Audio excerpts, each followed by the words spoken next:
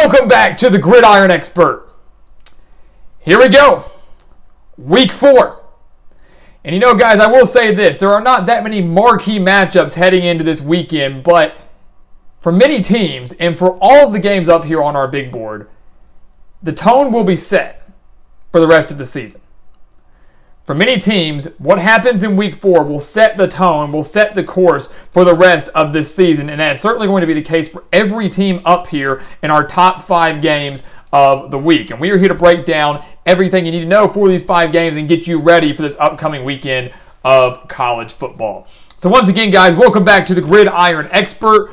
As always, make sure to continue to like, comment, subscribe, share our videos, and of course, check out everything down in the description below. Primarily, mainly, go to our website, thegridironexpert.com, and check out those expert picks. Our week four expert picks for both college and NFL will be coming out on Wednesday. So if you're not signed up for those, you need to make sure you do that now so you don't miss out on any of our extra analysis, any of our extra coverage, some of the best college football and NFL spread picks in the country consistently beating out over 80% of the national analysts. It's an offer, an opportunity that you do not want to miss. Help us help you. Go sign up for that again down in the description below on our website, thegridironexpert.com.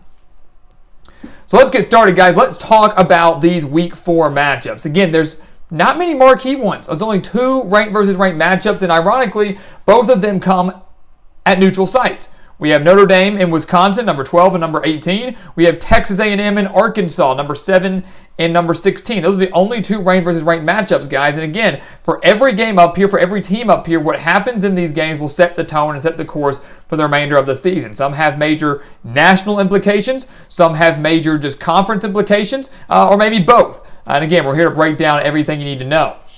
Our two games of the week, of course, are going to be the two ranked versus ranked matchups, so we're not going to predict a winner for those today. The prediction for Texas A&M and Arkansas will come out on Wednesday. The prediction for Notre Dame, Wisconsin will come out on Thursday. So we're going to break them down briefly, but the winners, projected winners, will come out in those videos on Wednesday and Thursday. So make sure you do not miss out on those. But let's start for the game in Chicago. Let's start. Number 12, Notre Dame. Number 18, Wisconsin. Uh, a matchup where these two teams have not met since 1964. They have not met since 1964. Uh, and this game is huge for so many reasons. One of them, for me, is this is a playoff elimination game, if you can even call it that. Uh, the loser of this game, I do not believe, has even a remote chance at making the college football playoff. And you might say they don't have them anyways. It's not true. Obviously, if Notre Dame were to run the table, go undefeated, uh, they would make the college football playoff, should make the playoff. Wisconsin, yes, they have a loss on their record already, but to a good Penn State team. If the Badgers were able to run the table with a win over Notre Dame, a win over Iowa, uh, and then obviously a win in the Big Ten championship against whoever it is out of the East, Wisconsin can make a case for the playoff. But if they lose this game, they don't stand a chance. And the same could be said for Notre Dame. As an independent, they might need to go undefeated, especially with the rest of the country and many other contenders looking pretty solid.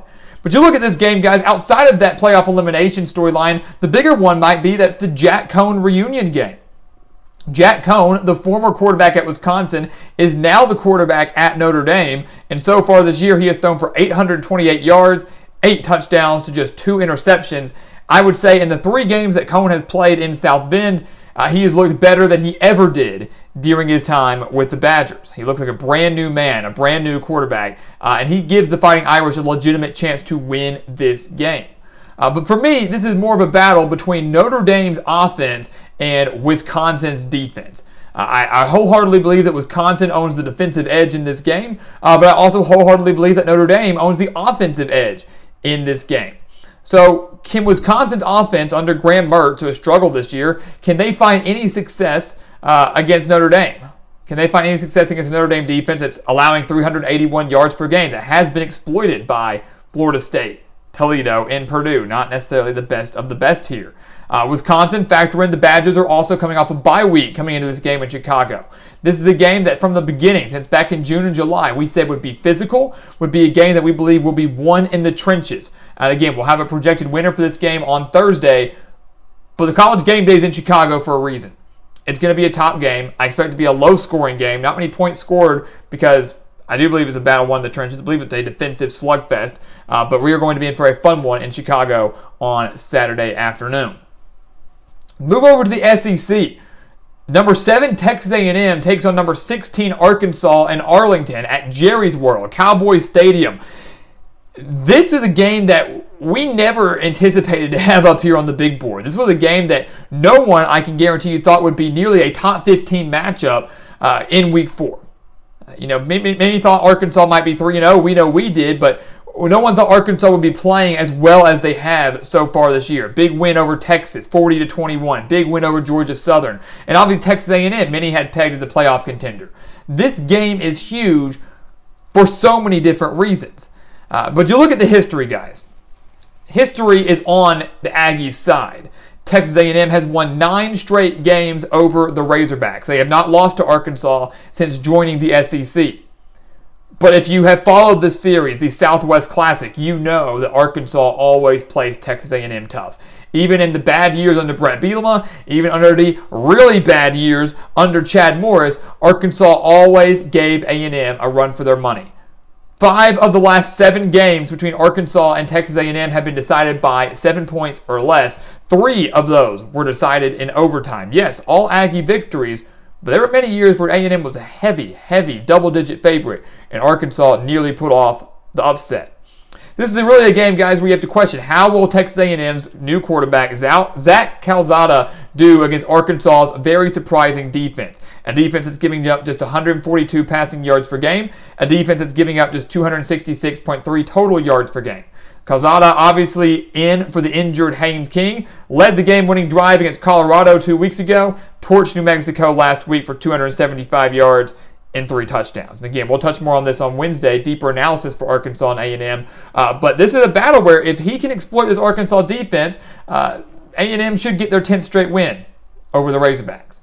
But Arkansas has been very surprising on that side of the ball. They've been more surprising offensively, putting up 633 yards against Georgia Southern, putting up 471 yards against Texas, over 300 of those coming on the ground. The Razorbacks, you could make a case to say, hey, Arkansas owns the offensive edge in this game. Possibly. Defensively, might be in the middle. Could give the edge to the Aggies, who have been fantastic against the pass, mediocre against the run. I will tell you this we're not projecting a winner today, but you can expect another one possession game between the Aggies and the Razorbacks. Arkansas will not go down without a fight, and we should be in for another classic down in Arlington. Now we get into the real predictions here. We're actually going to choose winners for these final three games. And again, it was tough to find three other games to put up here on the board after you know only having two ranked versus ranked matchups. But one of these that really caught my eye was number nine Clemson in North Carolina State. Uh, you know, we said this was a trap game for Clemson back in the preseason. Uh, it is now more than ever after watching Clemson these last few weeks. The uh, struggled in the loss to Georgia, could not get any offense going. Struggled mightily last week to Georgia Tech needing a goal line stand to take down the Yellow Jackets 14 to 8. Uh, Clemson's only a 10 point favorite going into this game. Uh, that's that's new territory for the Tigers. Rarely are they uh, barely double digit favorites in an ACC matchup, let alone against one that's not even ranked. Uh, but the Wolfpack are for real. The Wolfpack are for real, and they have the talent, the speed, and home field advantage on their side to exploit Clemson and to upset Clemson. It all comes down to the Tigers' offense. Can they generate something? They've averaged just 22 points per game this year, just 322.7 total yards per game. DJ Uiagalelei has not looked good at all, and NC State offensively is over here averaging 455 yards of offense per game. They're looking good. And we've seen NC State give Clemson tons of fights before, tons of major tests before. Uh, so I'm not going to be surprised at all to see a similar situation on Saturday afternoon. But the major reason we are picking Clemson here, yes, we are picking the Tigers in this game, is for two reasons, but the main one is what Clemson lacks in offense, they make up for on defense. They still have one of the better defenses in the country. It should be noted that in three games, Clemson has not allowed an offensive touchdown. The touchdown when they played Georgia came off a pick six. They did not allow a touchdown against South Carolina State. They did not allow a touchdown to Georgia Tech. The Yellow Jackets got two field goals and a safety. They have not allowed an offensive touchdown all year long, and they're allowing just 266.7 total yards per game. NC State has the offense to exploit that. Devin Leary has played well. Zonovan Knight has played extremely well at running back. But I still believe that Clemson owns that big defensive edge, and I believe that DJ Uiagalelei finally finds his groove, finally settles in as quarterback for the Tigers. I'm not saying he has a monster day, but does just enough. Clemson gets by. It is close. They do not blow out the Wolfpack. It is close, but Clemson wins. They kind of prove some doubters wrong. They remain in the top 10 and finally start to work their way back up in the rankings after many people have already written them off this season. We got two Big 12 games left in our big uh, in our predictions for the week. Uh, we got number 14 Iowa State at Baylor. Similar to NC State and Clemson, this to me spells trap game for Iowa State. Uh, this spells major trap game, and do not be surprised at all if Baylor pulls off this upset. As you can see, we don't think the Bears will, but I would not be surprised in the slightest. Three of the last five games between Baylor and Iowa State have been decided by one possession. That includes a 38 31 victory last year for Iowa State. Baylor wasn't all that last year. Baylor is obviously much improved than they were from 2020, and the Bears nearly took down Iowa State, a game where they led 24 to 10 in the third quarter, a game where they forced four Iowa State turnovers but were unable to get the victory over the Cyclones. They were outscored 28 to 10 in the second half. I'm not ruling out a similar game here, a similar one possession game here between the Bears and Iowa State. Baylor has thrived offensively this year, especially on the ground, averaging 323.7 rushing yards per game. The Bears had 307 rushing yards last week against Kansas. Gerry Bohanon at quarterback has thrived over 650 passing yards, five touchdowns, zero interceptions. This Baylor offense was their, their, their cancer last year. The Baylor offense held them back last year. They've taken a major step forward. Dave Aranda is one of the better uh, defensive minds in all of college football. That has looked very solid this year for the Bears. Yes, granted, they have not really been tested. They really have not been tested. Texas, State, Texas Southern, uh, and then obviously Kansas. This is their first true test. But at home, with the way we've seen Baylor play, with the way we've seen Iowa State play, a pitiful performance against Iowa, I really think the Bears can give them a run for their money. The reason we are picking the Cyclones here is their rushing defense. I believe Iowa State can hold Baylor in check, keep them in check on the ground, and force Gerry Bohanon to try to win this game through the air. Something that he is capable of doing, but something that he won't do. The Cyclones are allowing just 49.3 rushing yards per game. Yes, they got blown out against Iowa, but had Brock Purdy taken care of the ball, had they not committed too many turnovers, they easily could have won that game. I believe, unlike last year, unlike they did against Iowa, the Cyclones take care of the football. In what I believe can be a one possession game, I believe Iowa State's offensive balance and strong rushing defense gets the job done on the road. They narrowly get by Baylor, but they keep their Big 12 title hopes and possibly college football playoff hopes alive with a win in Waco. And our final matchup here, guys, remains in the Big 12. It could be, you know, many people think, think it should be West Virginia, Oklahoma, or maybe another game up here. I like this one a little bit better. Kansas State cracking the top 25, going to Oklahoma State.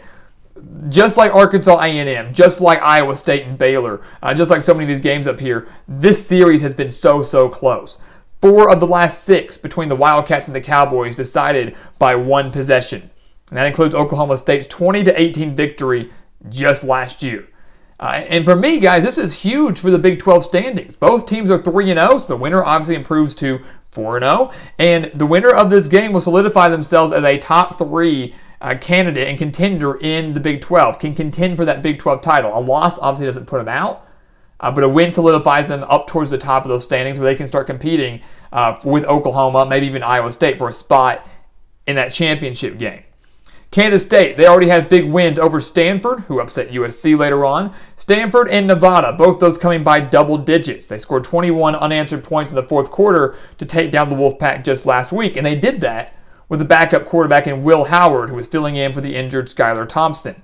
Oklahoma State, meanwhile, they've taken a while to find their groove. They know how to win the close games. Narrowly escaping Missouri State, narrowly escaping Tulsa, and last week going on the road to take down a good Boise State team on the Smurf turf 21 to 20. This is a game, guys, where quarterback play is, you know, going to be crucial here because quarterback play from Spencer Sanders and from Will Howard is mediocre at best. So obviously, this is a game where I think the run game dominates. Uh, Deuce Vaughn for Kansas State, I believe, is one of the better backs in the entire Big 12. He's putting up solid numbers this year 371 yards and five touchdowns. You have Jaylen Warren for Oklahoma State. Just last week, racked up 218 yards and two touchdowns against the Broncos, again, in Boise.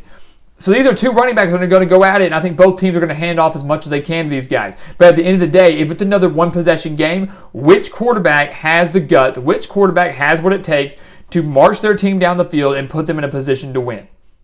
For me, that's Spencer Sanders for Oklahoma State. He's a guy who is more mobile than Will Howard. He's going to have the home crowd on his side. I believe home field advantage plays a huge role, not just for this game, but for many games across the country this year. We've already seen it so many times through three weeks already. But Oklahoma State, I believe, owns that quarterback edge. Spencer Sanders' dual threat ability gives him that extra edge and element over Will Howard. And I believe the Cowboys squeak by Kansas State. They will swap spots. Kansas State will drop out of the rankings. The Cowboys will move into the rankings. And the Big 12 is going to be very, very wild going into week five and obviously going into the bulk of conference play. But I do believe the Cowboys get the win, but it will be close. So there you have it, guys. Your top five games of week four. Again, not the most exciting week, we say. Of course, week four is going to be filled with tons of surprises. Those first two, those are your games of the week. Again, Arkansas A&M coming out on Wednesday. Notre Dame, Wisconsin coming out on Thursday. We'll have deeper analysis and projected winners for both of those. But get ready, guys. We've said it time and time again. Week two might not be exciting. Week three might, be, might not be exciting. And they were.